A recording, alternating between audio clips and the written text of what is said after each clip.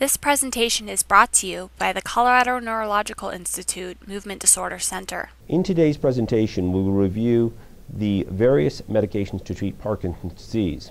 Unfortunately, we do not have a cure for Parkinson's disease, nor do we have a specific treatment which has definitively been shown to slow the progression of the underlying disease.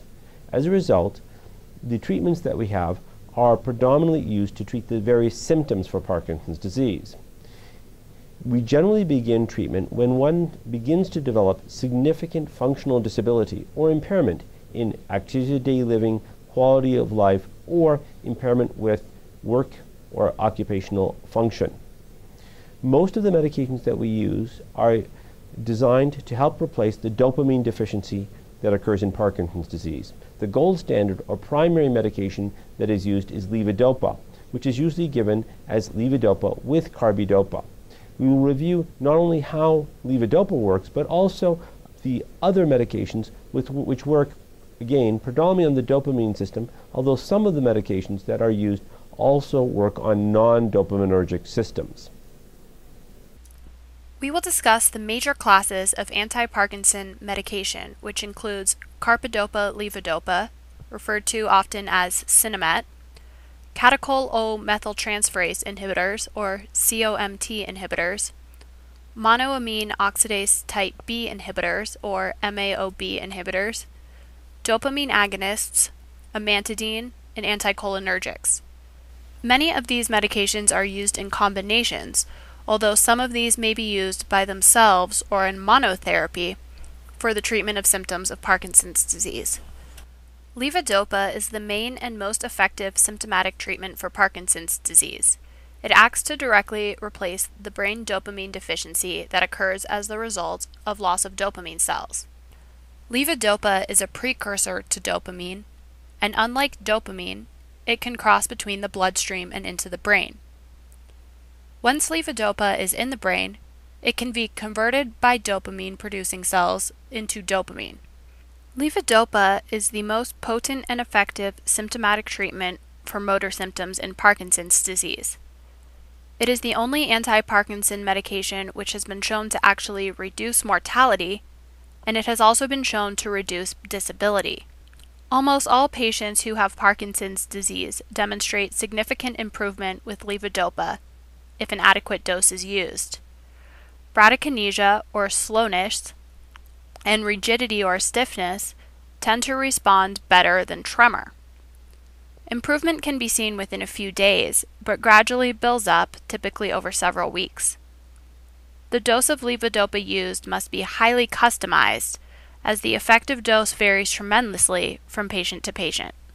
The most common adverse effects of levodopa are nausea, often accompanied by vomiting, orthostatic hypotension, which is a reduction in blood pressure when changing position from lying to sitting or standing, resulting in dizziness, vivid dreams, and hallucinations. Hallucinations typically occur in patients who have advanced Parkinson's disease or have significant cognitive impairment and are uncommon early in the disease. There are two major types of motor complications associated with levodopa motor fluctuations, and dyskinesias. These may begin after months or more commonly years of treatment. Motor fluctuations refers to a variation in mobility associated with the effectiveness of levodopa. On times occur when the medication is working and mobility is good. Off times occur when the medication is not working well and mobility is poor. With chronic levodopa therapy and as the disease progresses, the beneficial effect of each individual dose may become shorter. Levodopa may have to be dosed more frequently, four, five, or even six times a day, compared to three times a day when initially started. Dyskinesias refer to excess involuntary squirming and rocking type movements, which may occur as an adverse effect of chronic levodopa. These usually occur during the on state. They can be mild and not troublesome, but can also be severe and interfere with day to day activities. The other form of dyskinesias is called dystonia, and this refers to sustained abnormal fixed posturing. Dystonia more commonly occurs in the off state and tends to commonly occur in the foot, causing pain and interfering with walking. This patient demonstrates dyskinesias in the form of rocking chorea of the left leg and abnormal foot posturing. This patient shows rocking and squirming movements of the head and face, as well as rocking body movements. His dyskinesia is activated by performing rapid alternating movements. Patients sometimes become confused and believe that dyskinesias are due to an increased rate of disease progression. It is important to note that motor fluctuations are not due to drug toxicity, and in fact, these are two largely unrelated issues. There is not any convincing clinical evidence that levodopa is toxic or speeds up the progression of Parkinson's disease. Some older reports suggested that very high doses of levodopa applied to dopamine cells in isolation may cause cell death. However, more recent studies examining dopamine cells in conjunction with their normal supporting cells in the brain have concluded that clinical doses of levodopa do not cause cell death. Some data has even shown that levodopa has a protective effect on dopamine neurons. Levodopa is the most effective treatment for motor features of Parkinson's disease and reduces mortality. Patients should not become weary of levodopa use based on misleading information in lay literature. As we discussed, levodopa is a precursor to dopamine that crosses the blood brain barrier. Levodopa was initially administered by itself, but it was found that many patients experienced nausea and vomiting. Levodopa is broken down by an enzyme called dopamine decarboxylase, or DDC, which converts it to dopamine outside of the brain. Dopamine outside of the brain is responsible for many of the side effects of levodopa, especially nausea and vomiting. Nowadays, levodopa is almost always given in combination with carbidopa, together marketed as Sinemet. Carbidopa inhibits the enzyme DDC and markedly reduces the peripheral production of dopamine, greatly reducing the incidence of nausea and vomiting.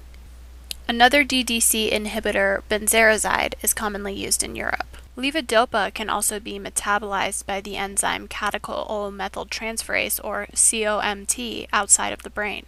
Dopamine may also be broken down by the same enzyme within the brain. COMT inhibitors such as entacapone, and tolcapone extend the duration of levodopa, thus increasing the amount of on time with an individual dose. These are only effective when taken in conjunction with levodopa and by themselves do not reduce Parkinsonism. Dopamine within the brain may also be broken down by another enzyme called monoamine oxidase type B, or MAOB. Blocking MAOB with rasagiline or selegiline can improve Parkinsonism symptoms directly by reducing the breakdown of dopamine within the brain. These medications may also be given in combination with levodopa to improve wearing off or motor fluctuations. Dopamine agonists are artificial molecules which mimic dopamine by binding to dopamine receptors. They may be used by themselves to treat symptoms of Parkinsonism or can be used in combination with levodopa to reduce motor fluctuations. Dopamine agonists are less potent than levodopa, but have a lower tendency to produce dyskinesias when given in early Parkinson's disease. However, these medications have significantly more side effects than levodopa, including hallucinations, swelling of the feet, and sleepiness. The main medications in this class are ropinirole, pramipexole, and rotigotine, also known as Requip, Mirapex, and Neupro-Patch, respectively. Anticholinergic medications are amongst the oldest sorts of medication used for treatment of Parkinson's disease and were the main treatment prior to the discovery of levodopa. These medications predominantly improve resting tremor and have a relatively minor effect on slowness or gait. The main medications in this class are trihexyphenidyl or Artane and benztropine or Cogentin. These medications are mainly used in younger individuals who predominantly have tremor. They may also cause other adverse effects, including dry mouth, blurry vision, and constipation. Amantadine is also an older medication. It was first used to help prevent influenza type A, and was subsequently found to have a mild effect on Parkinsonism symptoms.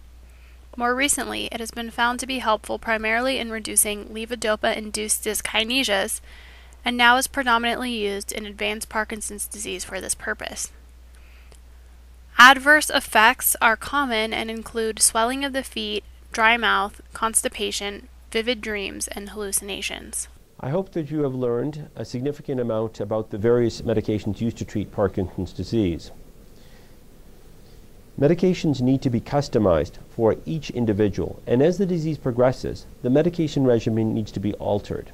Often, one medication may be used initially, but as the disease progresses, polypharmacy or multiple medications are often combined to deal with the variety of changing symptoms.